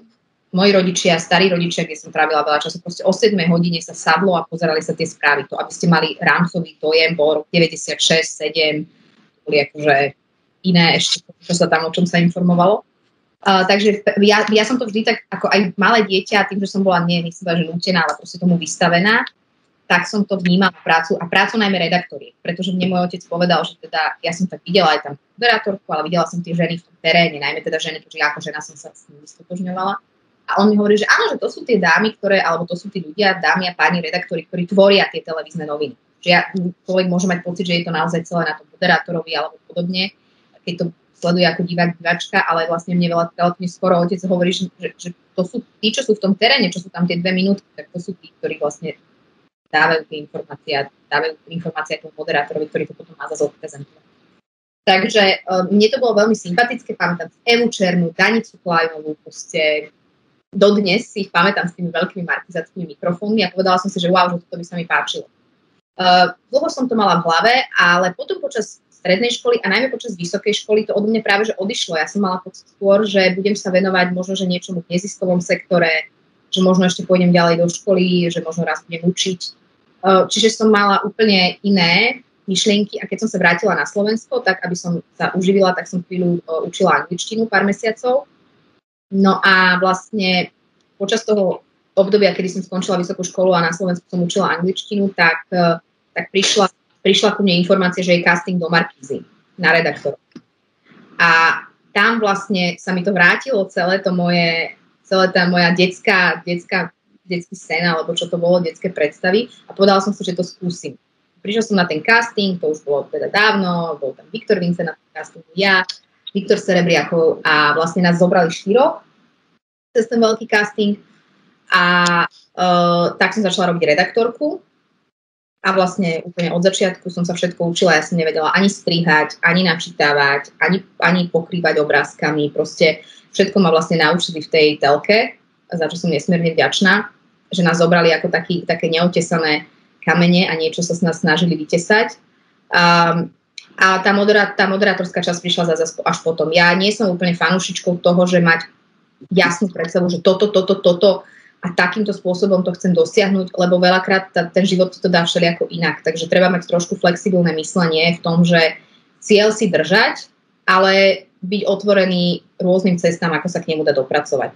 A tá moderovanie prišlo mňa úplne prirodzene, že, že tým, že som sa pohybovala nejaký čas vlastne v, tomto, v tom, tejto sfére redaktorčiny, ktorá je inak úplne iná ako moderovanie, to je, to je úplne iná, iná robota, tak ma začal niekto oslovovať a vlastne postupne som sa dopracovala k tej vlastnej talk show, kde ma oslovili dámy sit down, ktorá bola naživo ešte donedávna, kým sa dalo um, a ktorá dúfam, že znova bude naživo. A, a vlastne od toho potom išlo zase ďalej už aj to, že, že, ma, že, som, že ma oslovili do tej silnej zostavy na ten casting a potom mi ju dali. Takže všetko išlo tak postupne.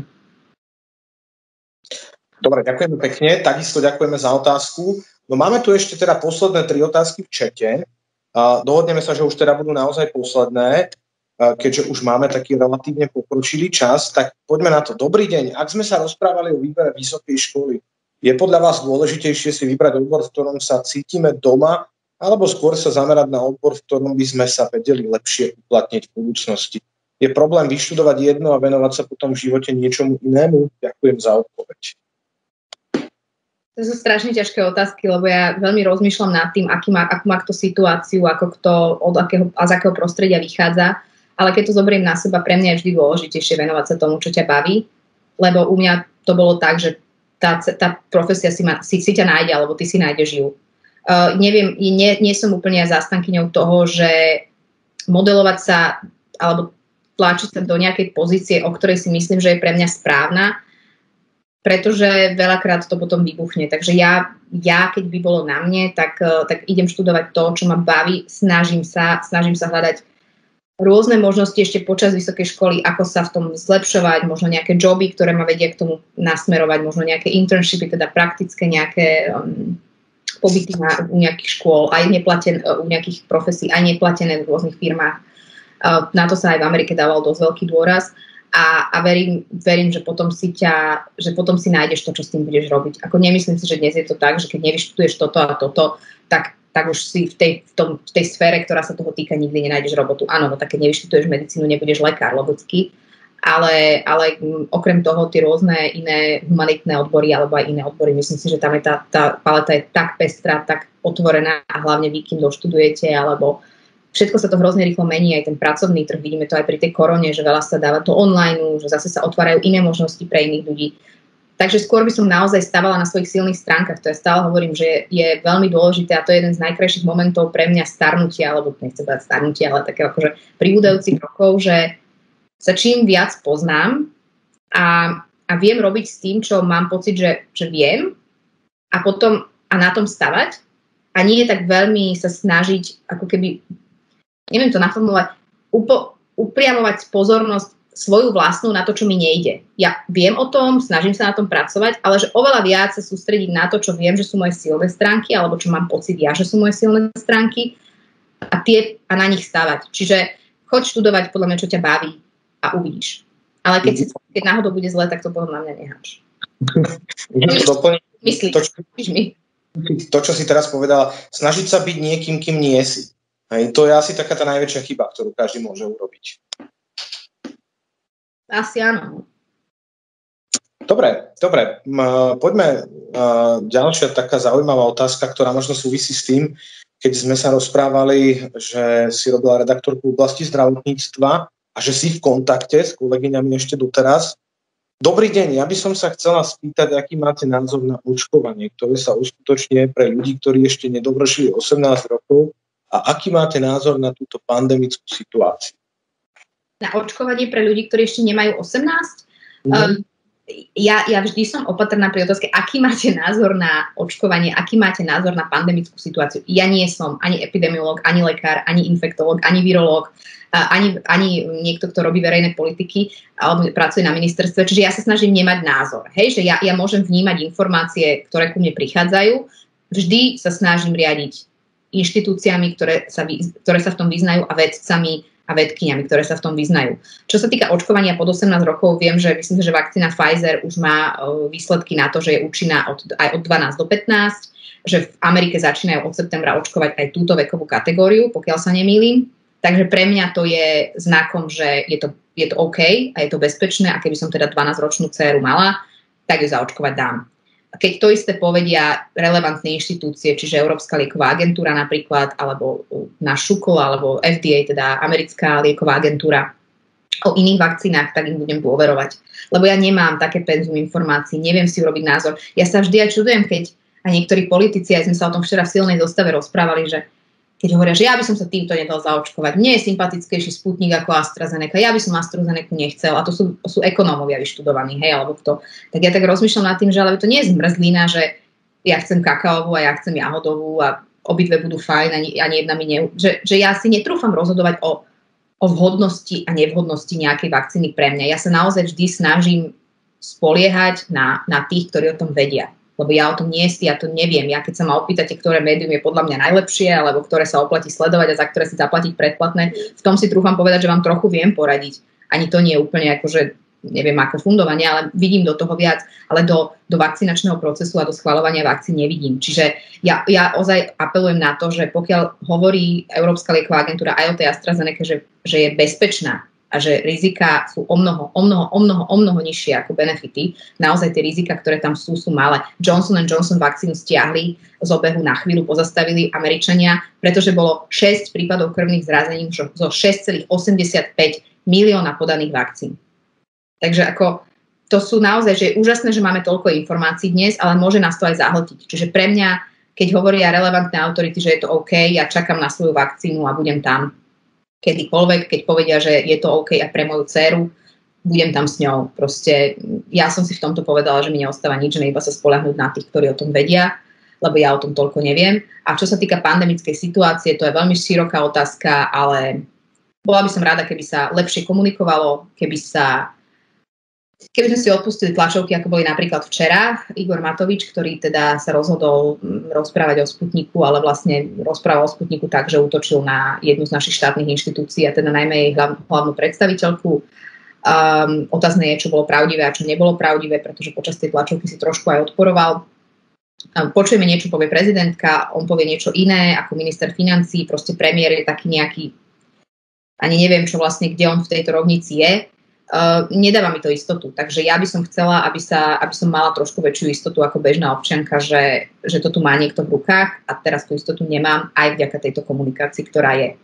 Uh, takže um, viem, že mnohí ľudia sú na pokraji krachu, uh, že um, nevedia fungovať, zdravotne ich táto pandémia poznačila, takže to najmenej, čo si zaslúžime ako občania Slovenska je, aby sa s nami slušne a otvorene a, a rozumne rozprávalo a aby tí, ktorí sú na vrchu, ktorých sme si zvolili, aby rozhodovali v náš prospech a nie v rámci nejakých svojich uh, politických agent alebo svojich túžob a prianí. Tak to je taká, tá posledná veta sa dá aplikovať, musím povedať, že asi v každej dobe, nielen v tej pandemickej. Máme tu uh, poslednú otázku z úplne, úplne iného sústa uh, alebo smeru. Prosím ťa, čo by si poradila súčasným maturantom odboru Hotelová akadémia? Na čo sa majú zamerať, v čom sa seba vzdelávať, aby sa nezľakli situácie v gastrosektore. Ďakujem pekne. No, akože fú, no rozumiem otázke. Dnes. Páči na tomto, že jednoducho výsledkom tejto diskusie je to, že, že ľudia ťa tak v dobrom považujú, a my sme naozaj v dobrom za polihistora. Nie je to pekné. On už by vám povedal, aký ja som polihistora, čo neviem všetko a na čom sa začudujem. A tak. Takže uh, vôbec to tak nie je. Ja rozumiem, že je to strašne ťažká situácia teraz skončiť hotelovku, keď ten gastrosektor je v fáze, v akej je. Asi, to je, asi ti neviem nejak úplne dobre poradiť. Jedine, čo ti môžem povedať, je, že zdokonalovať sa v jazykoch, pretože čím budeš dokonalejšie na tom alebo lepšie na tom s jazykmi, tak máš väčšiu šancu sa zamestnať možno nie len u nás, ale aj za hranicami blízko niekde a podobne. Uh, to je asi jedna vec. A inak, inak len pracovať na sebe, na nejakých svojich hovorí sa tomu, že people skills, teda, lebo myslím si, že v tom gastre a všeobecne v tomto sektore je veľmi dôležité aj ako ten človek komunikuje s inými. Je to jeden z naj, pre mňa najnáročnejších sektorov, pretože ja keď si predstavím, že robiť, ja neviem, či čašničku, či recepčnú, či hotelového manažéra, manažérku, či čokoľvek iné, tak to je naozaj o komunikácii s ľuďmi. Takže ja by som sa nebála ani nejakých, možno, že aj čo sú aj zadarmo, všeli, čo je zadarmo na internete dneska, rôzne kurzy komunikácie, e, vzdelávania sa v rámci nejakého medziľudskej výmeny, dá sa to nájsť cez TEDxy, cez všetko možné, čiže možno aj týmto smerom. A tie jazyky, a ja verím, že sa tá situácia zastabilizuje a že sa ten gastrosektor oživí a, a budeš mať, um, nájdeš si naplnenie také, aké chceš mať. Neviem presne, čo to bude. No, ďakujeme pekne. A ešte tu máme jedno také zhrnutie. Ďakujeme za veľmi príjemné sprostredkovanie pre nás tak závažnej témy, ako je ďalší osobný rast a vzdelávanie žiaci obchodnej akadémie Sereď. A Vám veľ... Ja musím povedať, že, že ja ti takisto veľmi pekne ďakujem v mene svojom, v mene právnickej fakulty Univerzity Mateja Bela v Banskej Bystrici a takisto v mene všetkých našich poslucháčov, lebo všetky tieto otázky, a nielen tento posledný moment, aj on, ale aj tie otázky, sú dôkazom toho, že aj možno, že vďaka tejto diskusii ľudia, vidíš, tu kladli také otázky, ktoré ich možno, že naozaj že tak, tak osobne trápili, zaujímali, že sa dokázali, dokázali otvoriť. Teda to je naozaj skvelé, keď v rámci nejakej diskusie na špecifickú tému sa dokážeš ako keby priblížiť množstvu ľudí a to si dnes ty urobila, takže za to ešte raz veľmi pekne ďakujem, naozaj si veľmi cením, že si tu bola s nami No a budeme radi, ak sa kedykoľvek aj v budúcnosti, či už v právnych piatkoch alebo pri akejkoľvek inej príležitosti uh, stretneme, môže, budeme môcť opäť diskutovať a verím, že aj osobne. Ja sa chcem veľmi pekne poďakovať, Michal, primárne tebe a teda právnickej fakulte, právnym piatkom a všetkým, ktorí to tam organizujete za, za pozvanie. Ja si myslím, že uh, je veľmi cenné, že sa vám chce takto rozprávať so študentami a že pozývate ľudí, ktorí môžu študentov zaujať. Ja si myslím, že to už je prvý krok na, alebo teda, že to je pre mňa zase jeden z tých pozitívnych momentov, keď som hovorila o tom možno, že negatívnejšom zážitku s nejakými šéfmi slovenských vysokých škôl, tak, tak tento je jeden z pozitívnych, takže ja, ja to ďakujem. A ešte chcem povedať všetkým, ktorí nás sledovali, študenti, študentky, či ste na strednej, na vysokej, ja vám hrozne držím palce, ja to neviem inak povedať, ale naozaj tá doba je ťažká, pandemická doba je ešte ťažšia. Ja, si, ja viem, že máte toho veľa pred sebou, veľa sa rozhodujete a len vás chcem povzbudiť v tom, že uh, už len to, že ste dnes počúvali, že vidím, čo sa pýtate a nie len vy, ale aj študenti, ktorými sa rozprávam India alebo mladí ľudia, že proste chcete pre seba dobrú cestu, dobrú budúcnosť a keď budete vy sami ju hľadať, tak tým budete posilňovať aj, aj Slovensko a to, keď tu aj keď odídete a vrátite sa, keď tu zostanete, proste ja vám hrozne, hrozne fandím, hrozne držím palce a dúfam, že budete a nájdete tie možnosti, po ktorých túžite, aspoň čas z nich a že akékoľvek zlyhania, zakopnutia vás neodradia, lebo to je ešte ďalšia vec, to, s ktorou treba rátať e, v živote, akokoľvek teraz môžem znieť, ako že tu kážem alebo kliše rozprávam. Proste treba sa pripraviť na to, že keď chcem niečo dosiahnuť, niečoho sa možno musím trochu aj vzdať, aspoň na nejaký čas a, a dúfam, že budete mať toľko vnútornej síly a energie, aby ste aj týmto prešli a držím vám veľmi palce. Ďakujem za otázky a dúfam, že som nikomu nepokazila budúcnosť nejakou mojou odpoveďou. Ak áno, viete, kde ma nájdete. Takže e, držte sa a ďakujem Michal ešte raz za pozvanie. Kedy... Ďakujem. Náš dnešný host Veronika Ostrihoňová. Dámy a páni, dovolte mi, aby som vás pozval aj na naše ďalšie stretnutia, ale jednu takú malú organizačnú zmenu máme aj do budúcnosti. Na budúci týždeň sme mali mať diskusiu s predsedom Najvyššieho súdu, pánom doktorom Janom Šikutom. Táto diskusia sa kvôli jeho pracovnej zaneprázdnenosti preloží na 7. mája, 7. 5. A najbližšie sa teda stretneme a budeme počuť 30. marca, teda, pardon, 30. apríla, kedy sa budeme rozprávať v právnych piatkoch s predsedom ústavného súdu, súdu pánom doktorom Ivanom Fiačanom. Ja vám všetkým ďakujem pekne dnes za pozornosť a prajem vám ešte peknú obedu a pekný víkend. Dovidenia. Dovidenia.